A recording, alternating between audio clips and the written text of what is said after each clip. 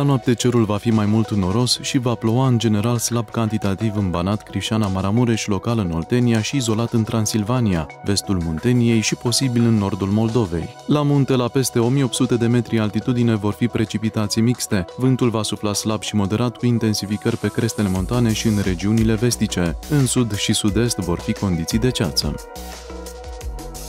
Temperaturile minime vor fi cuprinse în general între 0 și 10 grade. În capitală, cerul va fi temporar noros, iar vântul va sufla slab până la moderat. Temperatura minimă va fi de 4-5 grade, vor fi condiții de ceață.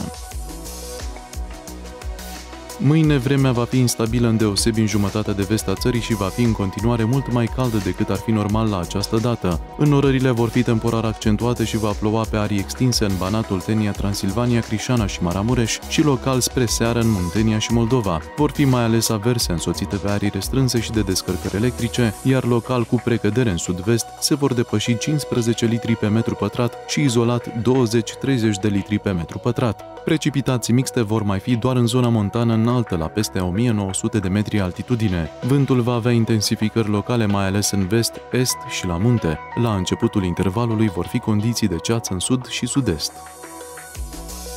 Temperaturile maxime se vor încadra în general între 9 și 19 grade, cu cele mai ridicate valori în sudul extrem. În capitală, vremea va fi în continuare deosebit de caldă. Temperatura maximă va fi de 17-18 grade. Cerul va avea înnorări temporare mai accentuate spre seară când vor fi posibile ploi de scurtă durată și descărcări electrice. Vântul va sufla slab și moderat. Dimineața vor fi condiții de ceață.